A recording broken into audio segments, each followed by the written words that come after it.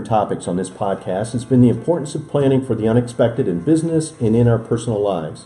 For the last several decades, one of our most outspoken advocates on this message, message on this podcast has been Tim McDaniel, a principal on Rea's valuation and transaction advisory services team.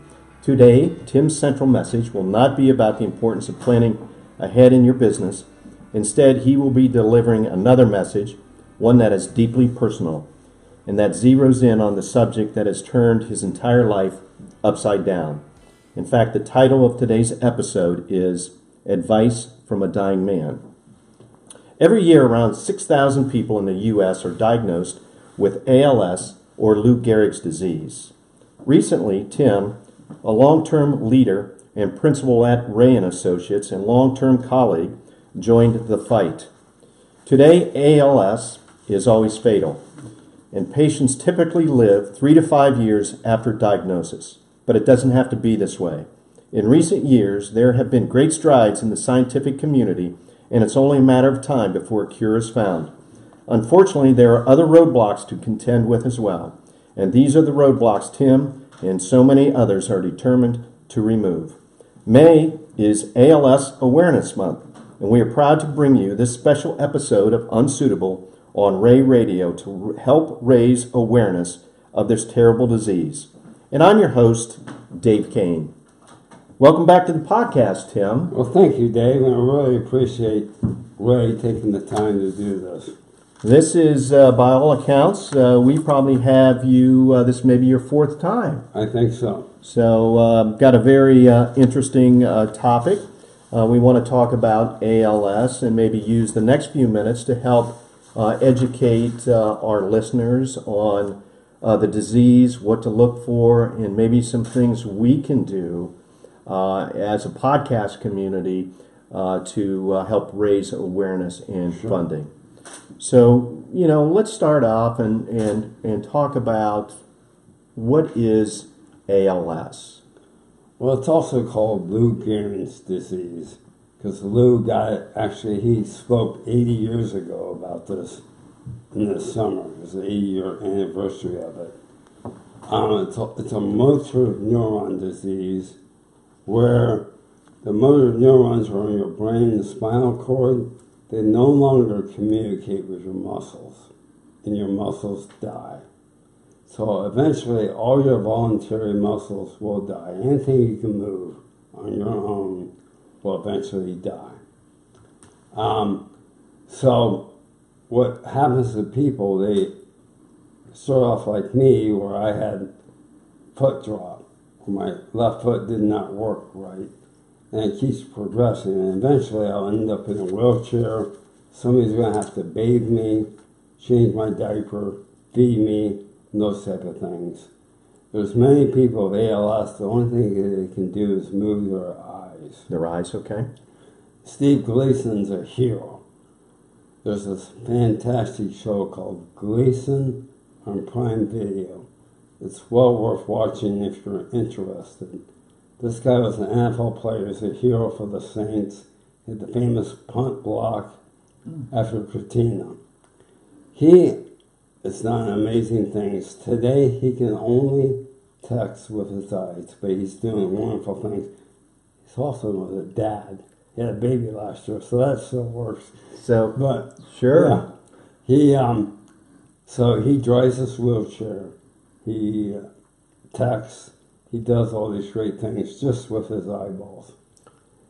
So again, it's uh, it's a uh, neuro disease that again your your muscles just just as you mentioned just die and right. and, and not work, and it starts in the limbs now, you had mentioned your your um, your foot, and that's where it all right. kind of started. Your foot and leg.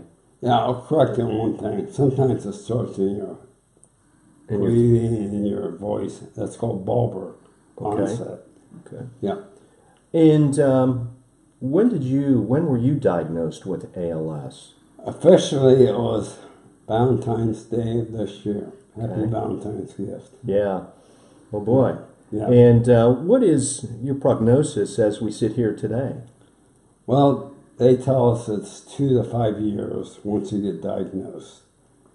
there's many people I'm communicating with right now that have it for 10 to 15 years. Stephen Hawkins had it for 50. But there's some people that less than a year they die. So it's a very variable disease. It impacts everybody so differently.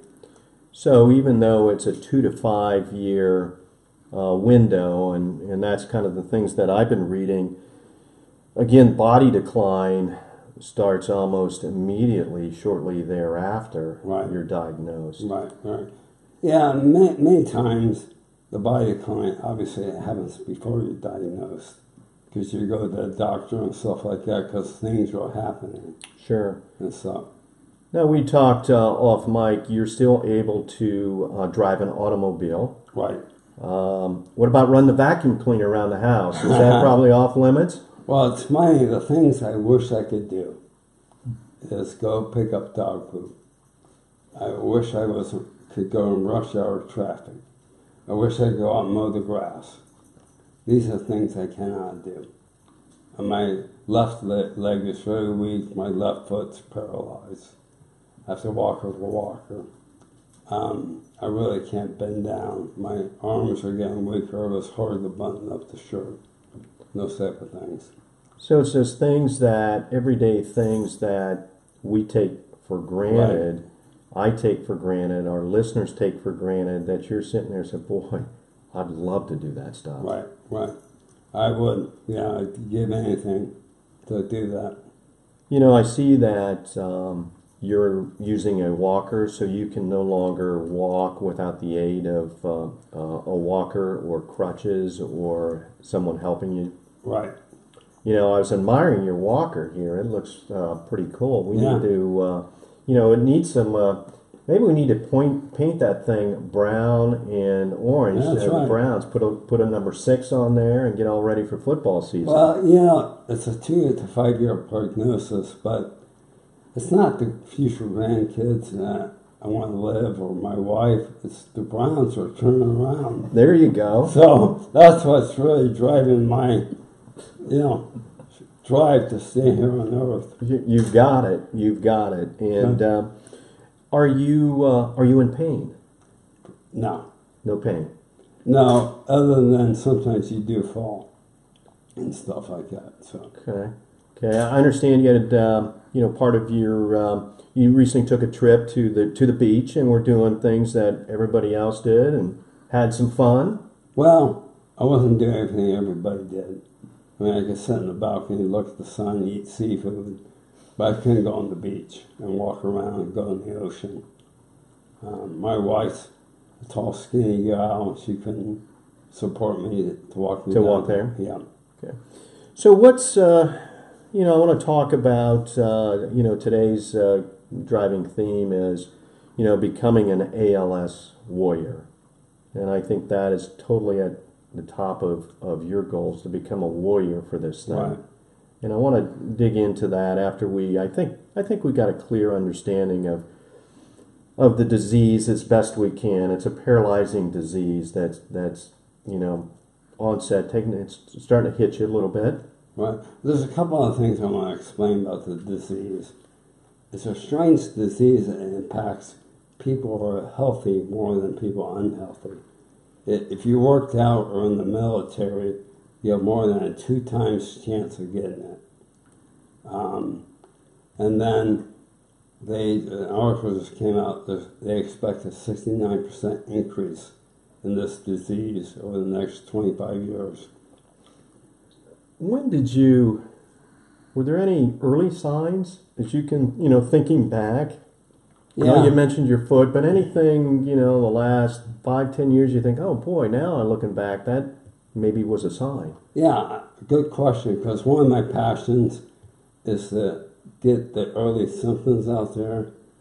Because for me, I had this thing called foot drop, and they kept on. My doctors kept on saying, "You don't have ALS. Don't worry about that." Because I would bring it up, and they said my foot dropped because of a pinched nerve in my back.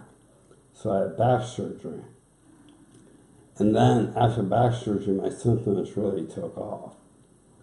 Um, and looking back, I wish I knew the early signs of it because I would have either fought the neurologist or got another one. Um, so weakness in any limbs is a sign, but twitching, they're called fasciculations, is a big sign. So if you have muscle twitching in your arms, legs, or tongue, that's a big sign of ALS. Muscle stiffness is another big sign. So those are early symptoms. If you have weakness and twitching, you know, I don't want to scare people, but that's something to think about. Right. Well, we're looking for advice. I, I, again, I, I, I'm very ignorant of the um, of the disease, as are are most people, and I think that's uh, one of the things we want to look at is, hey, what are the sys- symptoms? And like you said, I think I think there's some good good things there. Don't you know? Don't take it for granted. Right, so when I had the foot drop, I was just running in front of the house and my foot didn't work. Um, but I would look in the mirror and see all this twitching over my body. And that's again, I was uh, looking back. I wish my doctor would have took off my clothes and looked at my body. And and saw that. How Yeah. long ago would would you say, as we sit here today, was that did that twitching start? Well, I think it was about the same time as the foot drop. Okay. Yeah, so that happened in December of 2017. Okay, so really, uh, you know, really uh, recently, Right. is is this disease anything out there that you've read? Uh, and I know you spend a lot of time reading and sharing idea- ideas. Is this uh, hereditary? Anything hereditary in this Uh, disease? less than 10%. Less than ten percent. Yeah. What about uh, diet, uh, activities? You'd mentioned sometimes the folks in the military, people working out. Maybe uh, maybe it hits them, but anything Right. else you can educate us on? Well, the workout people, athletes, there's some theories, maybe concussions, but I think the bigger theory is nerve impingement. People who work out have spinal issues, Okay. neck issues, those type of things, and maybe that starts the process. Okay. Is a theory.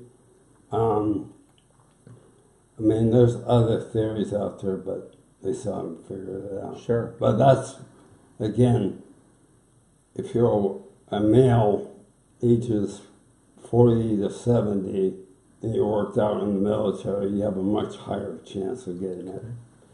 Now, uh, are you still able to read, watch TV, Yep. text, do emails, think through all of that? Yeah. That's pretty still It pretty doesn't strong. impact your mental capacity much. Okay, so you just can't move around, Right. but you can still think through some Right. some ideas. Now, um, and and certainly you're um, you know long term employee of Rea. You're you're currently on a on a leave of absence, so you're you're you're communicating, but not an, an entire amount until this thing gets organized. Right, right. I'm on. I, I'm thankful for how Rea has treated me on, on short-term disability. Um, yeah, I'll just talk a little bit more about the disease. So quarterly, I go see a doctor. The only thing they do is measure how much I decline. There's Okay. no no real discussion of a cure or a turnaround. But as you decline, then they offer services to help you out. To do that, okay, So there's no talk right now of a cure. So when I say I'm on short-term disability, there's not much hope I will come back to work okay. and stuff. But I'm still in communication with our evaluation team, talking about issues and stuff like that. You know, I do want to step back a little bit and, and talk about your legacy with Rea and Associates. Is that, um, you know, I'm, I'm happy to say that business valuation team right now is alive and well and doing great. And a lot of that has to do with the seeds you've sown and the leadership and the thoughtfulness that you've had to, hey, I've got to find my replacement. Right. And I remember 10 years ago we were having those discussions and you began to, to do that. Right, so right. hats off to you. Where the Rea Business Valuation Team is today is a direct correlation of your hard work. Yeah, I think Mary Beth Kessler has done a great job taking over it. And Holly Taylor and I have worked together for over 20 years, and she's still It's part awesome. of it. Yep. So They're she, awesome. she, all the clients love her. And so, You know, Tim, I, I was, you know, reading your blogs and your in your care page and and and you talk a lot about the importance of your faith as you go through here. You know, when when the disease started and you you found out uh, about ALS, how big a how big a role did your faith play? well, it plays a huge role. Um, but there's days where I'm pissed off at God. I'm, you know, Yeah. Scream and yell at him and just be upset. And then there's days I'm glad my hope is really the next flight. That I'll have a new body. I'll race you. I'll kick your butt because I, have a Yeah. I have a head start. You got a head start. You're working out. You're working out. yeah. But um, yeah, I, I, I was very curious on that, I, and I assume that yeah, there's some anger, but I think in the latest uh, kind of blogs, I think you've, you know, especially the ones around Easter time and the resurrection, and I, c- I could sense and feel that man, you were there, you Right. you, you got it, you got your arms around I actually I just ordered a book, um, and uh, just got it. Some guy who's a deep spiritual Christian guy who got it at 47. He's been living with it for 15 years, and he's talking about, about it's the best thing that ever happened to him because his intimacy with God is out of this world now. So I learn from him. Good, good. Thanks, uh, thanks for sharing that very uh, uh, personal uh, uh, moment. Um, you know, there are some. You know, we're going to talk here in a little bit about how to get involved, but there's some um, a, a, a drug. I think I, I you shared with me NurOwn. Um, is that the drug that that we're talking about? That's that's out there. It's a treatment. A by treatment, by a company called Brainstorm. NurOwn is a stem cell process.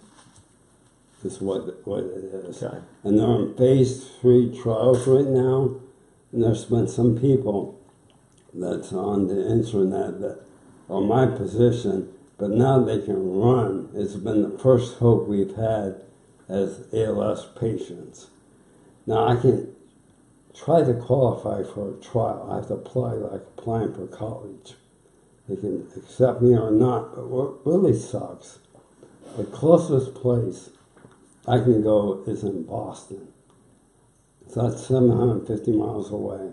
I have to go there 18 times over the next year. And I have a 50% chance of getting a placebo.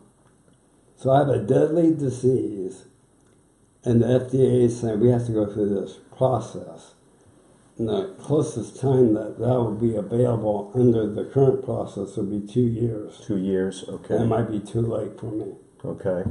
So that really, really is upsetting to all, we call them pals, people with ALS. And, you know, it's just very, very depressing that the FDA is saying, just be patient.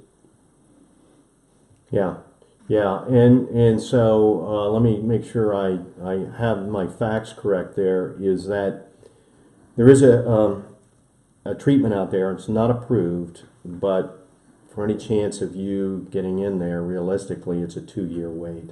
Right. Before, under the current process, before it get approved and be commercially available. But there's things that could happen today if the company and the FDA decide to work together. There's something called right to try. As a patient that has a deadly disease, I'll sign up. If it kills me, okay. But I have a right to try it and pay for it myself. There's something called um, accelerated um, approval, which the FDA can say, time out, let's not do the phase three trial, let's just say it's okay. It's, it's going to be approved. Then the insurance companies and everybody can work together to get us to the patients and stuff like that. That's what's driving us crazy. We don't understand why the FDA has not responded to our request why, why isn't this available to us? You know, you're right. Time is not on our side. Right. And is there anything that uh, is being done, whether it's protest, letter writing, you know, talking to our politicians to, Right. you know, to move this along? I, I to, to paraphrase what you said, I don't have two years. I may not have two years. Right. Or in two years, I may not be able to speak. I may not be able to walk. Right. I I, may be too far along before I can't use the drug. Right. And uh, oh, by the way, there are side effects. You might get a headache. You might get an upset stomach. You know, you might get you know so, so, some of this, and you're like, I don't give a damn. Just give me that Right. treatment. And that's the stem cell treatment. Right. Right. Okay.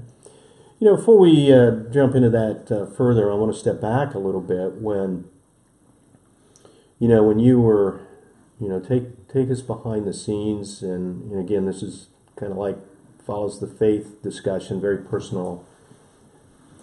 When you first were diagnosed, and you had to start telling, you know, your family, your friends, your colleagues, how in the world did you find the strength to do that? That was so hard.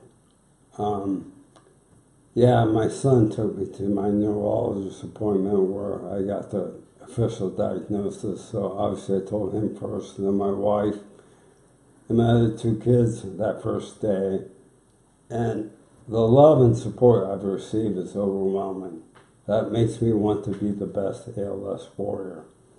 But I had to do it in stages because it was so overwhelming. You know, my family first, and then close friends, and then close workmates, and all that type of stuff. Now it's getting a little, little bit more public, and I feel so grateful that usually every day I have somebody visiting me and walking my dog Oreo. Yes, oh, that's right, Oreo. yeah, Oreo's become a popular uh, Yeah. person and is, or individual uh, That's to us, right. you know. So, uh, So- Oreo's around here somewhere. But I also want to shout out to my lovely wife. We've only been married for just over a year, but she's an angel. And sometimes I would say, geez, I should have married her because she's getting into this. But her love is amazing, and it's been the best thing that's happened to me. So it's been great. Wonderful. Thanks for sharing. Uh, That's, uh, I guess I, I'm, I'm not sure. I'm not often for a loss of words, but I'm kind of for a loss of words on, on that. After that, very, uh, very heartfelt. So, are you able to, you know? Now let's talk about how to get involved. Are you able to speak to other organizations, other groups, uh, companies that maybe have an employee uh, um, that has ALS. Uh, you're so inspirational in your business background. I think you can make a difference. Yeah. So I joined an organization. I'm part of an organization called I Am ALS. So I am ALS.org. It's amazing what they have accomplished in a short time. Brian, the leader, just spoke to Congress a couple weeks ago. He's back in Washington today. Um, but there's like 20 of us pals who are trying to make a difference. So visit that website to learn more. Um, there's the other part of people who are planning maybe a protest at the FDA in June. I'm not sure if I'm going to join that yet or not. But I'm going to look into that. There were a lot of people of ALS want to go there. And the other thing I would like is to get on media to talk about this because this is like I think HIV. Remember HIV Sure. 30 years ago or so? And people said, geez, how's this going to get cured? This is horrible. And they found a cure pretty quickly, but they, the government, the companies, everybody invested in this. And what we feel on, as pals, they said, well, this is a rare disease. There's only 20,000 of you in the United States. But if it's like Parkinson's, it would be three or 400,000 of us. It's because we die so quickly. You know, that, that's why it's a rare disease. And we just want everybody just to help us, you know, get the word out uh, see us, hear us, join us. Is sort of the phrase we like to use. So the organization is imals.org. We Right. can look that up. Uh, is there a? We're sitting outside of suburb of Columbus, Ohio. Is there a organization within Central Ohio? Yeah. Um, the ALS local Central Ohio chapter um, is really good. They've been really helpful to me. We're gonna have a walk in September, which I hope to participate in. I might be in a wheelchair, but I want to be part of that to raise funds and awareness. So the Central chapter is good. You know, I believe that walk is scheduled for September 22nd Right. here in Columbus, and I believe Rea and Associates is going to have a team. We're putting together a team. Right. Walk to Defeat ALS, uh, Trekking for Tim. So I be think that's in the works. Now, you know, I, I, I know you're a Browns fan, and you're thinking, okay, I, I, I checked. That walk is on a Sunday, September 22nd. Oh. In the afternoon. But, you know, don't fret. The Browns have a Sunday night game, Oh, eight, good. 820 kick against the Rams. Wow, that's great. So this is pretty good. I think we'll be 14 and 2 this year. So 14 and 2. Rams might be a game we lose. Yeah. So, you know, let's uh, shout out to the listeners that uh, support Rea, you know, and walk to defeat ALS on September 22nd. And I think here, you know, at the end of the podcast, we'll uh, mention how to do that. But basically, in short now, and we'll repeat it, is jump on the Rea website and we'll find your warrior site on there and, Right. and, and get some things going. Yeah, I'm going to get back to an ALS warrior. What's been amazing is I've connected with maybe 50, 60 people that have this disease. And they've been an inspiration to me. And how do you find an ALS warrior? Well, some people who get this disease, quite frankly, they kill themselves. There's, there- there's a high percentage of suicide. Some choose to do a, some people do a bucket list. They just go out and do all they can. But there's others, I, I call an ALS warrior. That's somebody who wants to fight hard to stay here. And also to change the course of the future of the disease. That's how I define an ALS warrior. So right now I'm taking about 15 supplements. I'm taking a drug that supposedly is going to um, extend my life by a few months. You know, I do a little bit of exercise and do all I can so I can be here to see Brown's victories and There you go. grandchildren's and and again, so many people love me that it's been an inspiration to stick around. Right.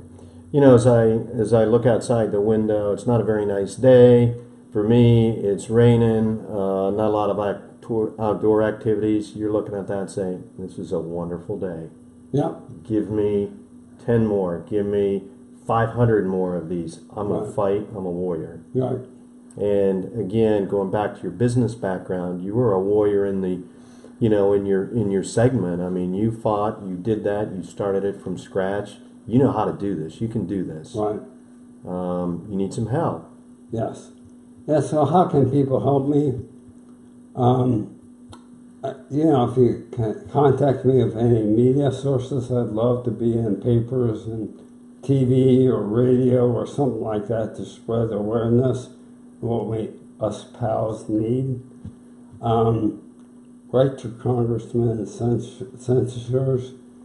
We'll have a form, sort of a form like that on our website Okay. that will have a template for that. Okay. Um, and obviously, you can donate to IMALS or the local ALSA chapter to help in the fight. Sure. And and again, more information is the better. The education. Um, you have a Twitter handle, and that's at Tim McDaniel. And I think you have a lot of information on there. Plus, your your um, you do a lot of blogging and writing, and continue to do that. Must Right. mention you've written what two or three books, Uh, two. so you're a pretty good writer. Yeah. Those- I- those I books still- have- you can I still- may have a third one. Oh, you're working on a third one. Maybe. Good. Yeah. Good. Keep on uh, going with that. So, Um, you know, before we finish up, anything else as far as warrior related that we want to share that maybe we we missed? I know we just kind of scratched the surface, but I think we've we've got a lot of this. Yeah, I, I think you know, be educated about this disease. It's, it's a growing disease, and the earlier you can catch it, you know, the longer I think you can live. Um, you know, if you want to be educated more, watch the show Gleason.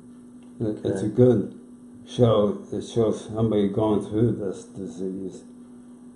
Um, the big decision we all have to make, which Gleason make, is eventually I won't be able to breathe. My diaphragm muscles become weak. That's how we die. So the big decision we have to make is do we get a ventilator that artificially keeps your breath alive, like Hawkins did, like Gleason did, and those type of things. So, Are you scared of dying? no, I'm not, but with the Browns and the grandchildren coming, they're going to hang around.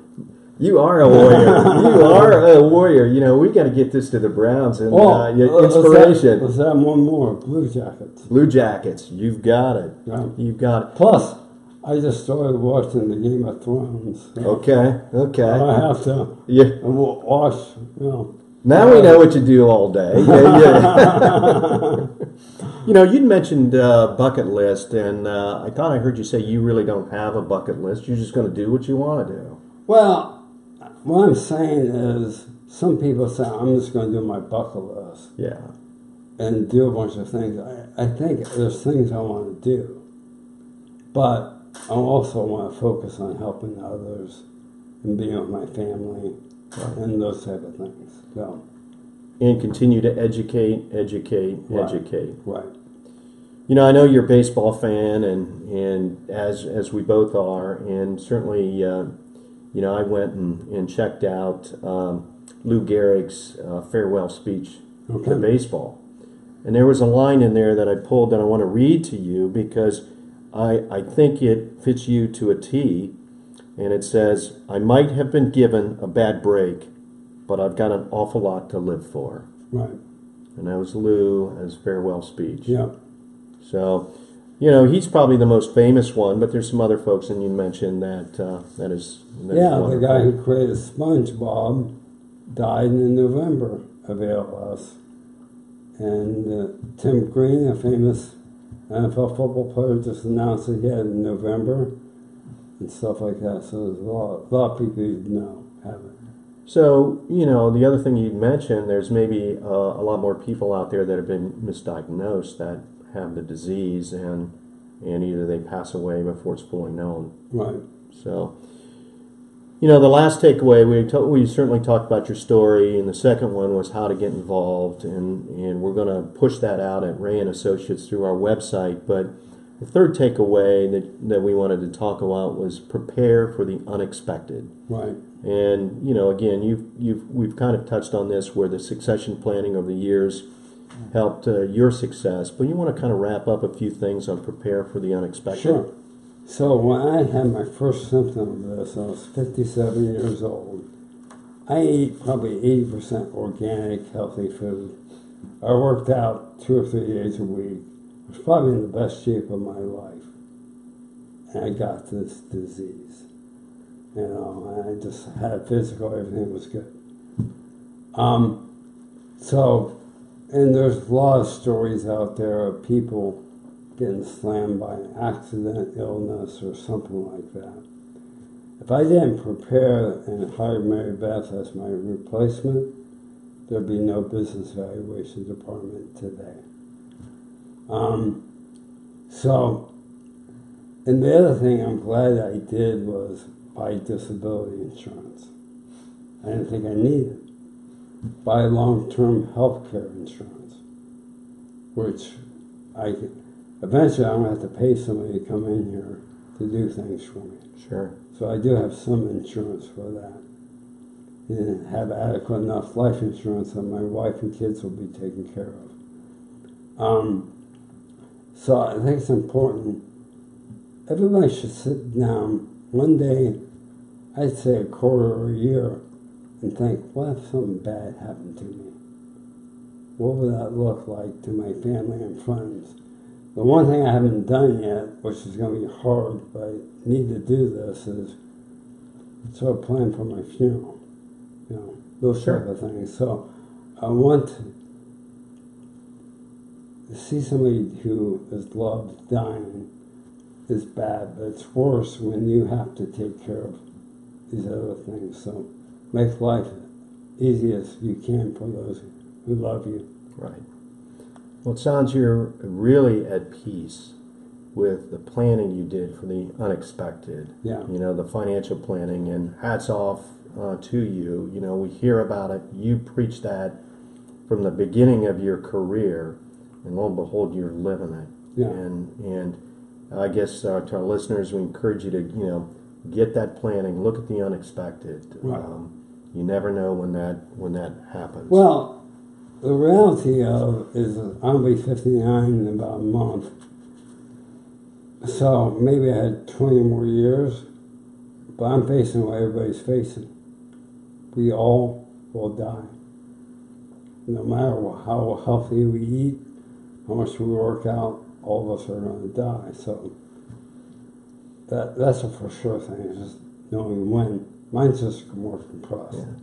So what you're saying doesn't matter what you eat. So I guess the, the takeaway is, hey, you know, cheeseburgers, fries, pizza, a bucket of beer. Let's go. You know. Well, I'm not sure would agree with that, that's but yeah. yeah, So uh, wonderful idea on the uh, on the on the planning. Um, Tim, thank you for sharing your sh- story with us today. Very uh, heartfelt, very moving, and thank you for providing us with the resources we can use to get involved in the fight to find a cure for this terrible, paralyzing disease. well, thank you for doing this. I really appreciate it, and thank you for the way partners and management team. They've done a great job of supporting me through this process. Listeners, we've included links to many of these resources on our website at www.reacpa.com black, backslash warrior tim. Let me read that again to you. It's www.reacpa.com backslash warrior tim. And I got to tell you, sitting here with Tim, he is a warrior. Thank you. Tim, give us a goal. You said you, Doc gave you two to four years. What's your goal? To beat that. You're going to beat it. We're going to beat it with you. And again, follow the link on our webpage to gain access to Central Ohio chapter of the ALS Association, the IM ALS organization that Tim referred to, and don't forget to sign up for Rea and Associates Walk to Defeat ALS team. The information will all be on our website along with Tim's personal blog and more stories. We also post updates as they come in about the work Tim is doing to raise awareness and advocate for FDA approval of vital treatments. I hope you will check back regularly and we'll try to post and get a picture of Tim when he's protesting in Washington, D.C. in front of the FDA offices. That should be a great picture. Thank you again for listening to this special edition of Unsuitable on Rea Radio.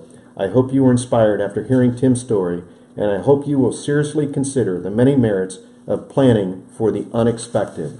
Hey, Dave, can I borrow your Speedo for that? You can, Okay. you totally can, Um, and we'll get that right in the mail to you. Okay. On behalf of the podcast community and the entire Rea family, which includes our employees, our clients, our professional networks, our friends, and families, Tim, we wish you the best of luck and continue to be a warrior for a cure. Until next time, I'm Dave Kane, encouraging you to make a difference and join the fight as we continue to support Tim in his battle and advocate for ALS warriors everywhere.